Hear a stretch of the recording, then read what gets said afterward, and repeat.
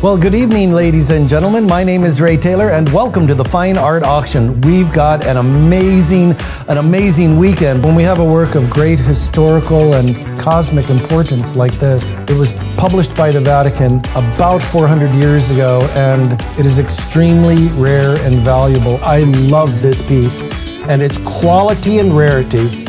Sold it under the money now, way under the money. Congratulations. Good evening, everyone. Welcome to the Saturday night edition of the Fine Art Auction. I think this is one of the coolest pieces you're ever going to get a chance to bid on. 36 looking for 37 twice, 36 looking for 37 third and final call. That is an amazing artwork with a huge history. Congratulations. Marc Chagall is considered one of the greatest etching artists of all time, right up there with Rembrandt. We're at $3,100, got 31, 31 looking for 32, 31 looking for 32. I wish you the best. Good night. But tonight is the night for the amazing Benjamin Constant Troyon original. I, I, I believe this is the most valuable and expensive painting we've had in the history of the show. This is a full-size, impeccable original.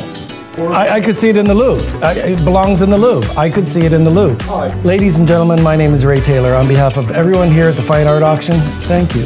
I'll see you at the auction.